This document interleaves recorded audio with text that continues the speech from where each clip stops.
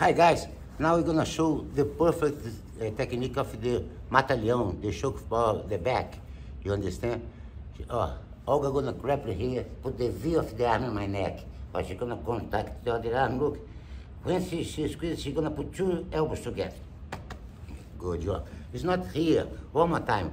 One more time. It's here.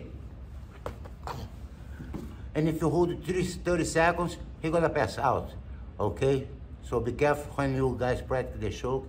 Is a very strong choke. Uh, Mata-leão from Jiu-Jitsu. One more, one more.